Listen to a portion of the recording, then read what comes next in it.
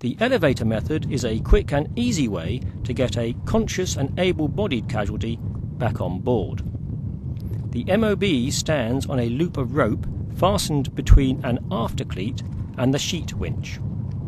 The loop needs to be adjusted so that the MOB can get his feet onto the rope. A man rope is used by the MOB purely to steady himself. As the sheet winch tightens the loop, the MOB has to shuffle along the rope to remain vertical. A self tailing winch makes the recovery even easier. We would advise lowering the lower safety wire to allow the casualty to climb easily into the cockpit.